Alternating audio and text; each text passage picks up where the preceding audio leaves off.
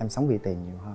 Mình sống vì tiền nó phải trao đổi. Họ đến với mình vì tình dục mình đến với họ vì tiền. Cho chị cắt ngang đâu phải ai cũng vậy đâu em. Em tên võ hồng phúc năm nay 32 tuổi. 32. à, em làm việc và kinh doanh tại sài gòn. Em đang chủ tiệm salon tóc. Tiệm tóc ở đâu cưng? Dạ em làm ở ờ, nhà bè. Cưng ở sài gòn hay là cưng có quê quán vậy đâu? Dạ em gốc ở sài gòn luôn. Là bây giờ phúc ở cùng với bố Ừ. mẹ của mình? Em ở riêng. Ở riêng rồi như thường lệ mình quay trở về với tuổi thơ của phúc. Phúc phát hiện ra bản thân của mình từ sớm không? Tuổi thơ em thì em thì chắc không có tuổi thơ nhiều đâu. Em cũng giống như những anh chị khác thôi. Ờ, cũng thích mặc đồ con gái cũng thích ờ, mang guốc. Mẹ mà mua giày guốc là hay mang của mẹ. Em mang lén hay là hay là mang trước mặt mẹ À, luôn? em mang lén. Mà toàn là mang về hư hết trơn. Nhưng mà khoảng cưng mấy tuổi là cưng xác định giới tính của cưng? Em nghĩ lớp 1, lớp 2 rồi. Thì em suy nghĩ là em là ray nhưng mà em không giống như mấy bạn khác nó ẻo lả hay bất cứ gì hết. Em sẽ có cái hình tượng riêng của bản thân em. Em hay đi coi mấy anh chị mà hát á. Em thấy mấy anh chị ờ, giả gái rồi á. Em cũng thích nhìn nhưng mà em không thích làm như vậy. Thì có nghĩa là đơn giản là phúc chỉ muốn mình là gay thôi chứ phúc không có xu hướng chuyển giới. Dạ. Ừ. nhưng mà trong cái tiềm thức nếu mà có điều yếu thì em rất lớn lên mình sẽ là con trai. Là phúc muốn mình là một chàng trai thẳng. Ừ, mà Tại sao ước thành gái trở thành trai? Ừ. chị là chưa thành gái đấy em thì em muốn thằng con trai. Em sẽ không trải qua một cái giai đoạn em phải như thế giống như chị chi phải có một cái quá trình nó rất là dài để mình chị trưởng thành con gái. Không giống như chị có, có suy nghĩ là ước gì mình sinh ra được con gái trọn vẹn á. Dạ giống như ờ, mấy anh chị trong chuyển giới á thì sẽ đi hát đám. Lúc mình còn trẻ mà mình sẽ có sự tò mò mình sẽ đi coi người ta đi hát đám. Mình thấy cái sự hát đám người ta quá cực khổ. Người ta phải kiếm cái đồng tiền người ta phải đánh đổi. Có nhiều người người ta phải cấu xé nhau để cái cái thân xác của họ mình thấy nó quá đau. Tại sao không cho tôi một là con gái luôn? Hai tôi là con trai luôn đi. Nó muốn thành con trai gạt á. Thành một người con trai gặt luôn. Chứ không phải là làm là Không- không thuộc về hình với ảnh cái- con trai. Dạ. thường thường á con trai thì dù sao nữa có khổ cái nào nó cũng đỡ con gái. Dạ đúng. Đâu đó em, mới nghĩ. em mới suy nghĩ là em Dạ. muốn làm con trai đúng không? Dạ. nhìn như chị giờ thấy đánh đổi quá nhiều ha. Dạ đúng rồi. Tuấn thắc mắc là trong cái chuyện tình cảm của phúc Dạ. khi là một người gay á phúc có trải qua nhiều thăng trầm không? Mà để cho phúc cảm thấy là phúc buông ra cái lời cay đắng như vậy kiểu là mình ước mình là một con trai ừ, có chứ. Em không có những cái mối tình đẹp như những bạn cùng trang lứa với mình. Ừ, nó đưa đẩy em vô một cái con đường nó khắc nghiệt là em sống vì tiền nhiều hơn. Mình sống vì tiền nó phải trao đổi.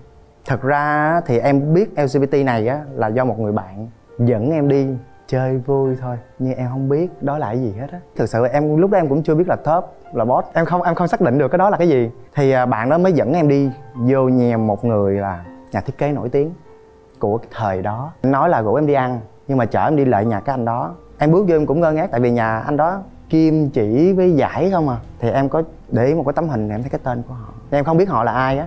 Thì bắt đầu cái câu chuyện đó xảy ra. Em với anh đó có vấn đề. Ừ. ai cưa ai trước? Cái đó là không phải là cua mà là trao đổi. Nhưng em không biết em nghĩ là em đi chơi với cái anh đó anh đó chở là trời mắc mưa anh nói là trời mắc mưa. Rồi à, em lại đó ngồi chơi đi rồi anh sẽ đi một anh lại quay rước thì chắc hai người đó đã nói cái gì rồi em không biết. Nhưng mà cho chị thắc mắc không biết. Nhưng mà khi mình không thích sao thí dụ đến đục mưa không thích thì thôi mình vẫn có thể mình nói mà. Lúc đó ừ, em không dạng như bây giờ đâu. Mình vô một cái thế kẹt là người ta cũng đâu có làm gì mình đâu. Người ta chỉ là ngồi nói chuyện với mình người ta có những cái hành động kích mình Khiêu gợi. khiêu gợi nhưng mà em không chịu. Em quan niệm với tình yêu á em yêu em mới hung được. Em không yêu em không hung và em yêu họ em mới ôm họ được. Phải chi mà người ta đến với em trước người ta nói em là em phải đi làm gì vậy vậy vậy đó. Rồi cơ nếu em quyết định thì em sẽ đi. Còn cái này là hai người đó tự quyết định rồi sắp đặt em vô cái câu chuyện là em sẽ lợi nhà bạn đó như thế. Như là em từ chối luôn hả? Em từ chối. À, em từ chối. Thì lúc về thì em không biết hai người đó làm sao thì cái nhà thiết kế đó đó đưa cho cái anh chở em là ba trăm rưỡi. Cái anh ba trăm rưỡi đó mới đưa cho em ba trăm rưỡi. Em nói ủa tiền này là tiền gì? Em còn nhớ anh chạy trước phu chợ á anh chở em đi tới cái cầu chữ y á. Cái em mới nói nè thôi đi vô uống nước cái vô uống nước uống nước xong rồi cái em nói à thôi uống nước đi. Cái anh mới nói không anh không uống đâu đưa cho anh năm chục được rồi.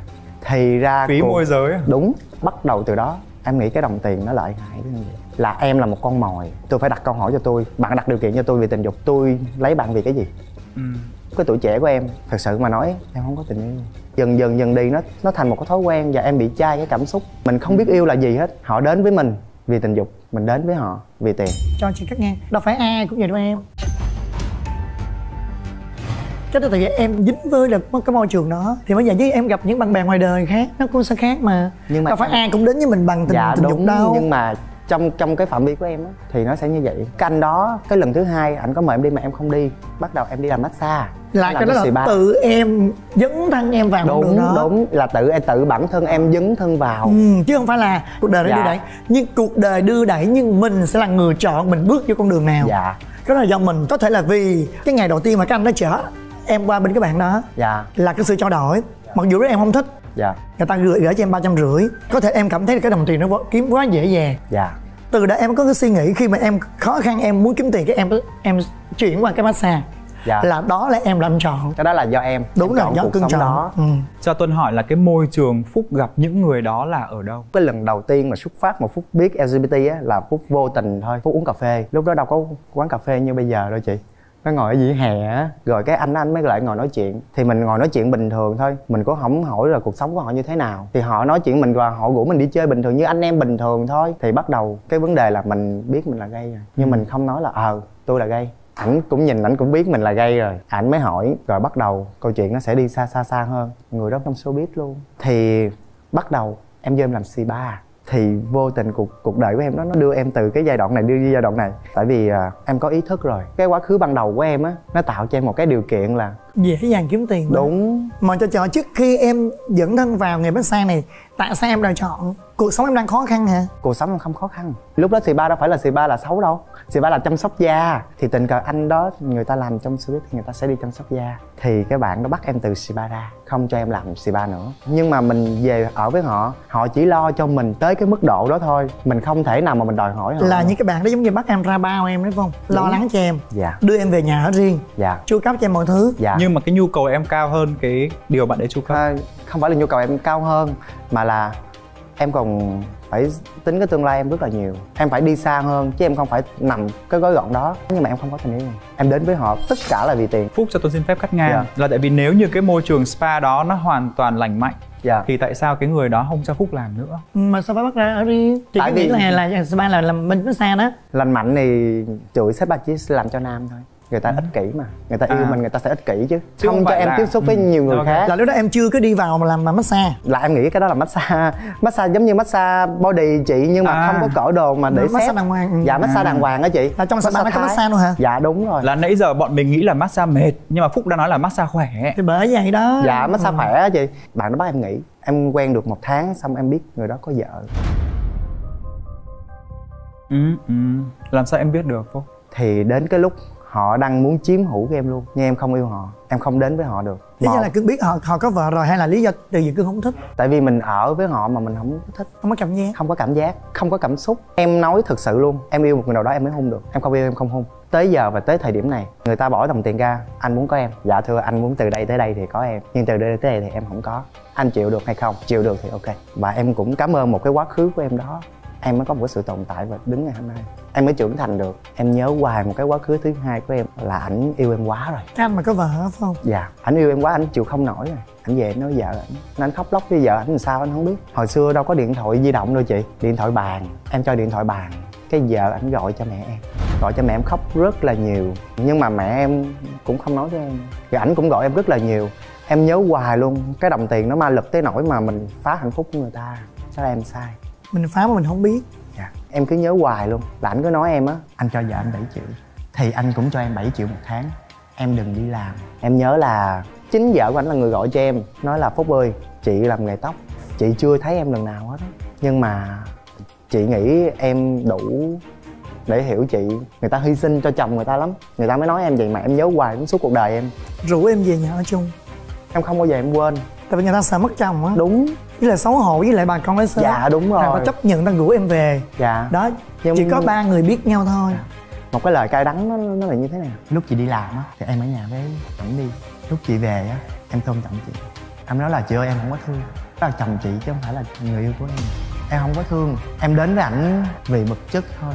Em đến với ảnh vì vật chất thôi. Không biết về nhà chị nói với ảnh sao em không biết. Ảnh làm cho một cái cha tấn em cha tấn mà thật sự luôn á. Nó áp lực cho em là em muốn bỏ đi luôn á. Trong cái tình yêu mà chị nó yêu kinh khủng lắm. Mà trong cái giới gay này nữa người ta bao vây chị kinh khủng lắm làm làm em ghê lắm. Giống như người ta bắt gì? Anh kể em kể cụ thể đi. Ảnh sẽ nói em là người như thế này không được ra đường nha. Ra đường là ảnh sẽ cho người như thế này như thế này vậy đó. Áp lực. Áp lực áp lực em kinh khủng luôn. Rồi em ngẫm lại do em em không đổ thừa cho ai hết. Tại vì đó do em mê cái đồng tiền nhưng sau khi mà cái vợ ảnh điện thoại cho em rồi em cũng phải có cái suy nghĩ lại. Dạ đúng. Tội nghiệp cho Cho gia vợ. đình ta chứ tội Dạ. nghiệp cho vợ. Mình phải suy nghĩ là mình rút lui. Phải khựng lại liền chứ Dạ. em đúng không? Em bị stress luôn á. Lúc đó em không đi làm gì được hết á. Em nhớ ảnh mua cho em một cọng dây chuyền bảy tám triệu gì đó. Ảnh không có đòi. Nhưng mà lúc đó câu chuyện nó xảy ra như vậy á em mới nói thôi à, bây giờ là anh với em nó không có cái gì hết á vì anh có vợ rồi. Em không thể nào em phá cái hạnh phúc của anh được. Em mới lấy cọng dây chuyền á em mới kêu ảnh đó là cho xe ôm lại đi em ra em trả cọng dây chuyền em trả lại là coi như là em đi luôn á. Em trả đi em cắt đứt. Dạ để em cắt đứt để mình không còn Không cái mối quan nữa. hệ nào nữa hết. Họ nó dằn vặt em cả mấy tháng trời. Nhưng mà em có tâm sự với lại vợ ảnh không? Khi ảnh áp lực em. Em không dám nói. Nếu em càng nói câu chuyện nó càng đi xa hơn. Tại vì trong một cái cuộc nói chuyện á không phải là ba người ngồi nói. Nó chỉ là em nói với chị rồi chị nói với anh anh lại nói với em. Ba người nó cứ trách với nhau. Nhưng thật sự trong nội tâm em là người có lỗi. Nhưng thật sự trong nội tâm em là người có lỗi.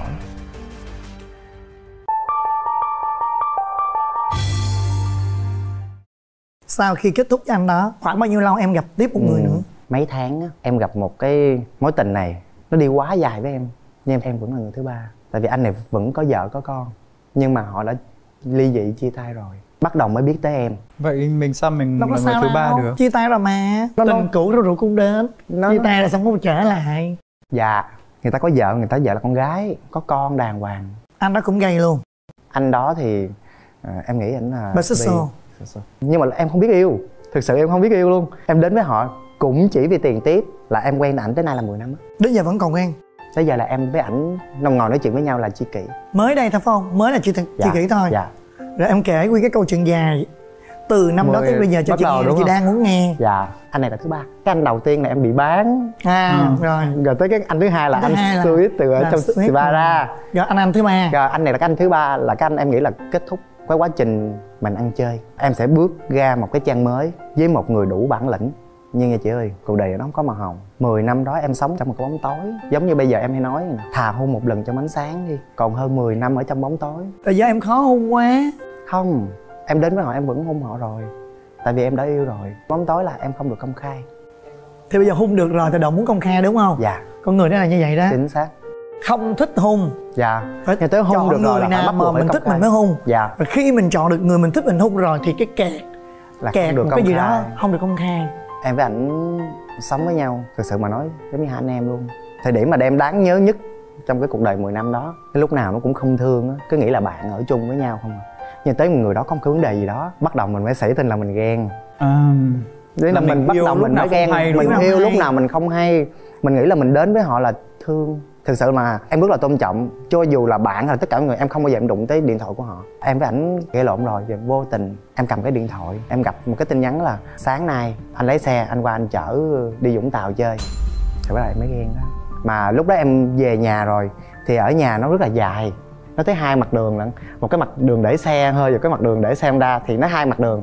Ổng vừa lấy xe hơi này em lấy xe Honda em đi. Kinh khủng một cái nỗi là trời nó đang bão. Em chạy theo ổng. Cái năm đó là bão mấy ngày trời luôn á. Mà em vẫn chạy theo. Em vẫn chạy theo em không rửa mặt luôn mà. Đang ngủ mà chị. Em ở trong cái phòng đó là cái cái phòng tắm là có kiến. Thì họ vô cái phòng kiến họ tắm rồi họ ra thì kéo một cái kịch ra, em biết là em giục cái điện thoại xuống, em ngủ như bình thường, tại vì mình đang gình mò họ mà. Thì tới lúc họ thay đồ rồi mình mới hỏi là, ủa, anh đi đâu à? Anh đi công việc, đi công tác, bạn em làm bên du lịch. Ngủ thì mình sẽ mặc cái quần sọt đúng không chị? Em nhớ em chọn chiếc av nó đâu, nó lạnh nó lạnh mà mình phải kẹp cái chân mình vô đây nè. Mặc cái áo mưa mà mình đi mà mình khóc, mình không biết mà tại sao người ta đối xử với mình vậy. Em nhớ nha, em nói, nếu như mà em gặp cái người đó mà đúng là cái công việc họ thì em sẽ đi về còn nếu như mà đúng câu chuyện nó bước lên em nhìn em phải biết được người đó có gây hay không chứ. Em sẽ chặn đầu xe.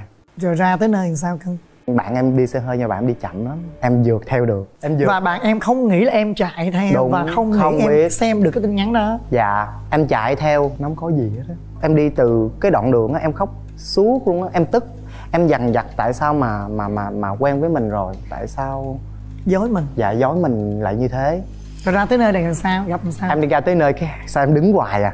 Em đứng hoài sao em không thấy ai bước lên nữa đó chắc gì các bạn đó bị leo cây rồi. Mà em vừa khóc mà em vừa cười. Rồi vừa bị leo cây rồi. Cứ chạy xe hơi tới đó. Tới đó xong mà sao em không thấy người bước lên chị? Em đứng em đợi hoài mà em lạnh. Em vừa lạnh mà em vừa khóc. Rồi nói sao trời em không ơi. cầm điện thoại em hỏi ủa anh ơi đón người chưa? Không em nói gì không cha, được. cha nếu mà là chị là là là là chị đừng cho hỏi thôi Hỏi luôn. thôi nếu vậy thì em chạy lại đẳng em luôn em em đang coi câu chuyện là để em bắt họ thì mình mà. mình mình coi khoảng nửa tiếng một tiếng mà mình thấy không ai ra thì mình hỏi. Không được. Rồi em sẽ đợi em đợi tí. Ảnh chạy đi một vòng. Nữa anh sẽ quay lại cái điểm đó tiếp. Em vẫn đứng đứng đợi tiếp. Mà cũng không ai ra luôn. Không ai ra luôn chị. Là ông trời còn thương em. Nếu như em thấy lúc đó em không biết em giải quyết bằng cách nào. Tới lúc đi về rồi ảnh vẫn không chịu về. Cũng đứng đó luôn. Đứng một cái điểm khác gọi em em nhìn mà. Xe hơi nó quay quay quay một hồi thì em đứng trước. Một hồi thì qua tới cái cua xe hơi nó qua cái cua thì họ sẽ chậm hơn em. Em chạy qua luôn thì em tới trước mà nó qua cua em thấy họ cứ gọi điện thoại hoài. Em không biết gọi gì. Một chút sau cứ về xe hơi tới về tới nhà rồi thì em về cửa cửa sau hai cửa mà. Em về em vô em nằm bình thường. Em về trước ổng em về em phải về trước chứ. Rồi em mới hỏi ủa anh đi đâu về? Anh nói bị quỷ rồi. Cái bắt đầu em mới đưa tin nhắn ra. Ủa tại sao anh đi vậy mà sao không nói em? Cái câu người ta buông ra là mày cảm thấy mày ở được thì ở không ở được thì đi. Mày cảm thấy mày ở được thì ở. Không ở được thì đi. Tại vì thật ra Cái anh câu- câu ờ, vỡ bài thật không Dạ. không chị thật ra đừng nói ai bạc với ai hết. Tại vì ngay ban đầu phúc đến với với bạn đấy cũng là vì tiền. Vì tiền. Nên nếu người ta nói người ta bạc với mình cũng không đúng. Tại vì ban đầu mình cũng chưa chắc mình đã tử tế với người ta. Dạ. Thứ dạ nhất á là em chọn cái con đường đó. Nhưng mà yêu rồi chị. Em yêu người ta đâu biết em yêu đâu nhưng tại mà khi người ta đến nói yêu rồi. Ở nó yêu nè hả? Dạ. Lúc đó nói yêu rồi thì lúc đó là mình mới có quyền được ganh tị với người ta. Mình có quyền được nói người ta được. Lúc em nói yêu nhưng cái quá khứ của em anh này biết không? Không. À không biết gì hết. Không biết à vẫn nghĩ em là em người hết. đàng hoàng. À. Dạ nghĩ em là người đàng hoàng. Nói chỉ là ngay từ, từ lúc đầu là những một năm hay là mấy tháng đầu thôi là mình nghĩ họ đến với mình vì cái đó mình đến với họ vì tiền. Nhưng tới lúc sau này rồi nó đã yêu rồi. Em ok em đi. Rồi em dọn đồ em đi. Ừ. em dọn đời em đi mà em khóc khóc trong mưa mà không ai thấy á. Mình đau mà cũng không ai thấy. Em về tới nhà. Đó em ngủ không được. Mấy xe em chạy về nhà để em coi có, có ai vô hay không. Em cứ mình canh họ. Tại vì phải trả giá rồi. Tới lúc mình phải trả giá tới lúc mình phải trả giá để cuộc tình mình làm cho người ta quá nhiều bị tổn thương rồi. Em đang bị trả giá đó. Em đang bị trả giá em canh họ tới một giờ mấy hai giờ sáng. Em chịu không nổi. Tới lúc em chịu hết nổi rồi. Trời mưa nữa em phải dầm mưa nữa.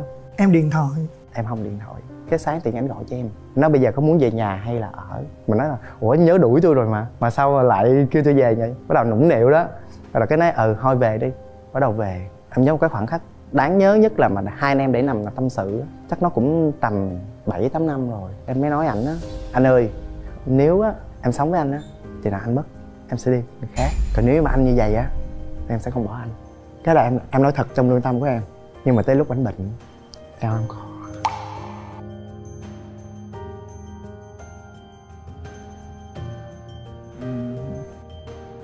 Em không phải là người ở cái bên. Tại vì cái gia đình của người ta tôi sẽ không công nhận mình. Ừ. mình không có giấy tờ. Tới lúc mà cái ngày người ta bệnh cái người mà lo là sẽ vợ ảnh con ảnh cái em mới nói nè em sẽ là người không bỏ anh. Thì lúc đó anh sẽ là người bỏ em. Tại vì trên giấy tờ em với anh không có em không có tiếng nói. Thì bởi vậy em mới nói sao? Thà em muốn hôn một người công khai chứ công chúng con hơn là em sống với anh 10 năm rồi mà em không có thân phận. Không phải là em muốn em là ông này bà kia với anh, mà lại muốn cho tất cả mọi người đều biết em với anh yêu nhau. Nên em mới nói, thôi anh ơi, anh, hai anh em mình sống đang ích kỷ cho nhau á.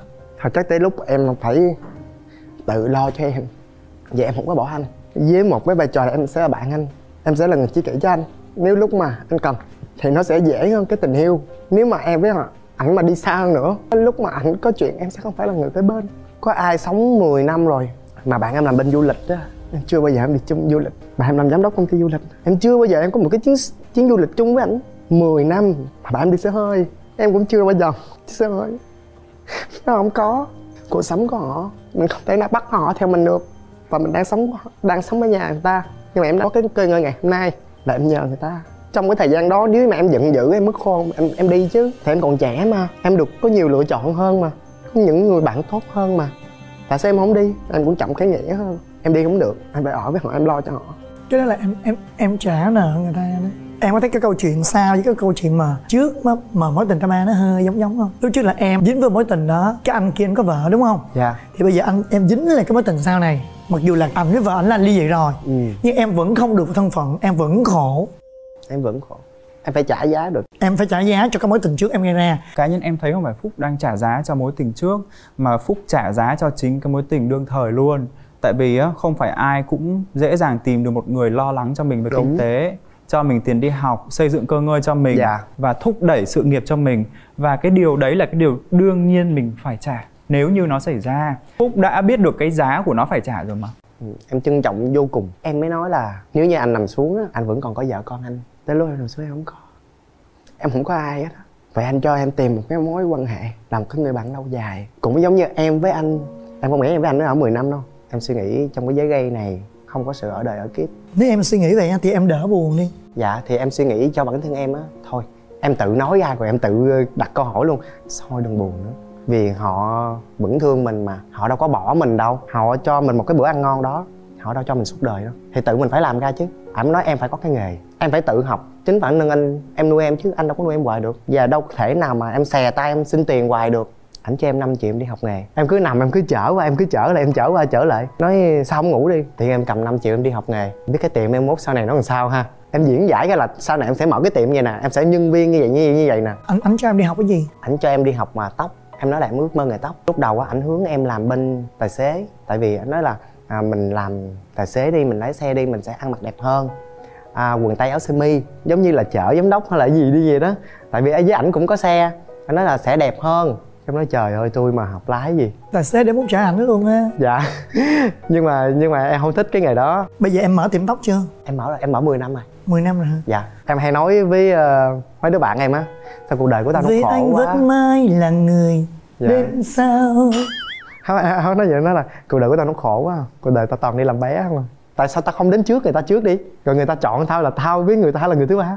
Mà tại sao tao lại như vậy? Tại vì cái bước khởi đầu của em á dạ. Nó, thì từ từ. nó không được suôn nó sẻ. không được suôn sẻ. Dạ. bước khởi đầu của em và có con đường em chọn. Dạ. từ đầu em như vậy rồi thì chị nghĩ là sẽ có ngày em sẽ đến đầu tiên. Thì hy vọng là sau Em những, những đi. cái bài học vừa qua thì sau này phúc sẽ sáng suốt Ừ. hơn thôi. Còn sau khi mà em nói chuyện với ảnh á rồi em có tiến thêm bước nửa giai nữa không? Có ảnh kêu em tham gia chương trình hẹn ăn chưa? Hạn chưa? Dạ ảnh coi trên youtube á. Cái nói cái này hay nè. Hai cặp này dễ thương nè.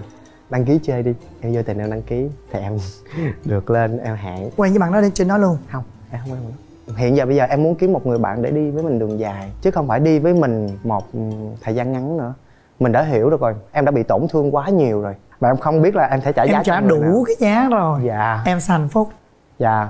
Em cũng mong là em sẽ được hạnh phúc. Mà em cũng cố gắng cái những gì em đã bị tổn thương đến cái người sau này em sẽ bù lại cho họ không bị tổn thương. Em thích được bảo vệ họ nhưng mà ai cũng muốn bảo vệ em đó.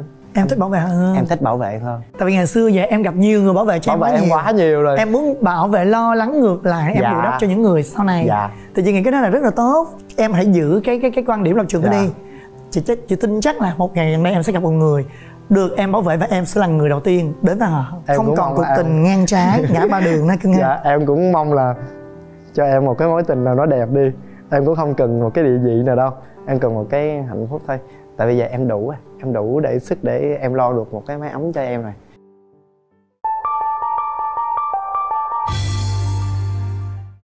Chuyện tình cảm phúc như thế rồi. Dạ. còn chuyện come out thì sao? Nó khó khăn nhiều à, nó không khó khăn nhiều lắm với em. LGBT này nếu ai độc lập về tài chính thì người đó có tiếng nói. Theo riêng em thôi. Em từ bé rồi. Em giỏi từ bé, em biết kiếm ra được đồng tiền rồi. Và ba mẹ em cảm giác tin tưởng em. Nên cuộc sống của con là con tự chọn ba mẹ là người tạo ra con. Phúc come out trực tiếp với gia đình hay sao? Ba mẹ sinh ra chắc biết rồi. Là Nhưng không ai nói dạ, ai. không ai hỏi. Nhưng mà ba mẹ không nói. Phải biết rồi. Biết rồi nhưng mà biết từ cái câu chuyện thứ hai mà là có vợ người ta gọi điện thoại rồi. Nhưng mà ba mẹ không phải là cái kiểu mà lòng quá lên là mày phải như vậy như vậy. Cha mẹ là biết con mình như vậy và chấp nhận con mình Dạ. như vậy rồi. nhưng mà ba nên mẹ đâu có không cần nói. phải hỏi nữa đâu. Không cần phải hỏi với em cũng không cần phải nói. Với em chưa bao giờ dắt người bạn nào về hết đó họ không đủ để em dắt về. Ví dụ như chương trình muốn gọi điện thoại cho mẹ của phúc để nói chuyện một tí được không? Được. Alo. Đang làm gì vậy? Ủa mẹ sao không mở cái wifi lên? Nè ta- đang tham gia chương trình nè. Nói chuyện với ai đồ không? Nói chuyện với chị chi ha nói chuyện với chị chi nha. Con chào cô. Dạ con là khánh chi con là mc của cô- chuỗi chương trình come out cô đang làm gì ở nhà vậy cô? Dạ dạ. Cô có khỏe không? Dạ hồi nãy giờ à, hai chị em con với lại minh tuân là đang tâm sự à, chuyện tình à, yêu ngang trái của của hậu. Của của phúc ạ. Của, của phúc. Cô có muốn nói gì với phúc không cô? Thì ờ, chúc cho con ờ, tìm được hạnh phúc. Đó mẹ chúc em tìm được được hạnh phúc. Cô ơi cô cô có biết phúc à, gây đâu chưa cô thì ờ, biết nó hồi nhỏ vậy đó chứ là lớn thì mình mình không có quan tâm tới thì biết nó hồi nhỏ bốn năm tuổi vậy đó dạ bốn năm tuổi là cô biết rồi ha cô? À, dạ khi khi cô biết như vậy đó thì thì cô có có có buồn không? Thì mình thấy nó bình thường mình thấy nó thích thích vậy thì mình biết nó là vậy.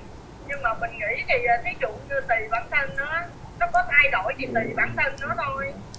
Nhưng mà cảm xúc của cô á, khi cô biết phúc như vậy cô có buồn không? Không mình thấy bình thường. Con con cảm ơn cô nha. Con gửi lời chúc sức khỏe đến cô và chú nha.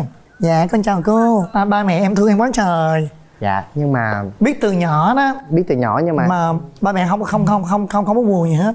Không có buồn nhưng mà em em nhớ qua mẹ em nói như nè. Mấy người sớm á người ta hỏi á con mày vậy á mày có buồn không? Cái mẹ mới nói á là tôi sinh ra tôi không buồn mắc mới gì nó buồn. Mỗi người cha mẹ nó có một cách yêu khác nhau. Có nhiều người ta ôm đôi con người ta nói là tôi yêu con tôi quá. Còn ba mẹ em thì không nói được cái kiểu là mình cứ nhìn con mình cái mình thôi. Giống như em đi mua căn nhà cái niềm hạnh phúc của mình vỡ òa nhất là mình về mình sẽ khoe mẹ mình. Mình khoe với cái người thân của mình nhất.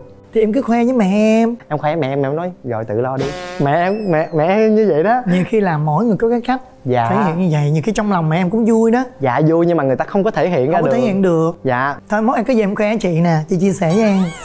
Dạ. Em cũng cảm ơn ba mẹ đã tạo ra con và cho con một cái cuộc sống và cái cách sống của con chọn. Cho dù nó đúng hay nó sai ai sinh ra cũng chỉ có một lần sống mà. Cái bước khởi đầu mình đó nó không quan trọng lắm. Dạ. cái kết mới là quan trọng. Cho dù mình khởi đầu sai nhưng mình biết đi đi đúng đường Dạ. đúng hướng mình vẫn ok. Em bước đi cái hướng sai nhưng em biết dừng chân lại và em rẽ qua một hướng khác nó đúng hơn nó hạnh phúc hơn. Em cứ thoải mái 33 cứ ngỡ như là 23 nếu mình gặp người yêu đúng đối tượng mình yêu mãnh liệt như 23 tuổi 10 năm đó 10 năm mình rút kinh nghiệm để mình có được cái bài học quý giá để mình yêu tha thiết hơn mình yêu chân thành hơn mình xử lý đúng hơn mình sẽ hạnh phúc hơn. Yên tâm nè ha. Rồi chị có lời chúc nào dành cho phúc không nè nói chung ra chị chúc em á chúc em sẽ gặp được một người bạn đời thật là dễ thương và yếu đuối để cho em lo lắng nè ha. Chúc cho em được nhiều may mắn và thành công trong con đường sự nghiệp của em đang chọn